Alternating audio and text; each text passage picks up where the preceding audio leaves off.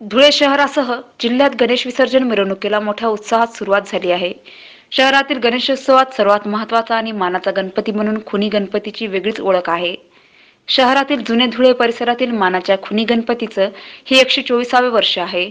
दोनजिक शहरातील जुने धुळे परिसरातून मानाच्या खुनी गणपतीच्या विसर्जन मिरवणुकीला वारकरी संप्रदायामध्ये मोठ्या थाटात सुरुवात झाली आहे. खुनी गणपतीची चंदनाच्या पालखीतून विसर्जन मिरवणूक काढण्यात आली आहे. हिंदू मुस्लिम ऐक्याचं प्रतीक म्हणून खानदेशात खुनी गणपतीची मान्यता आहे. अठराशे चौऱ्याण्णव साली पुण्यात सार्वजनिक गणेशोत्सवाची लोकमान्य टिळकांनी सुरुवात केल्यानंतर धुळे शहरात हा पहिला सार्वजनिक गणेशोत्सव सुरू झाला. यावेळी विसर्जन मिरवणुकीदरम्यान हिंदू मुस्लिम या दोन गटात वाद झाले. या वादादरम्यान इंग्रजांनी जमावावर बेछूट गोळीबार केला. अनेकांचं रक्त सांडलं.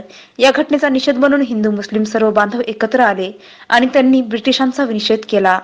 त्या घटनेचा निषेध म्हणून आजही कपाळी काळा टिळा लावून निषेध केला जातो. आणि तेव्हापासून या गणपतीला खुनी गणपती असं नाव पडलं.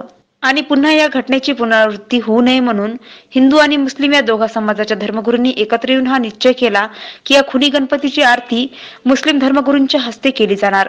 मिरवणूक जेव्हा मस्जिदीच्या समोर येते तेव्हा मस्जिदीमधून आरतीची ताट मागून मस्जिदी बाहेर आलेल्या गणपती बाप्पाची आरती केली जाते.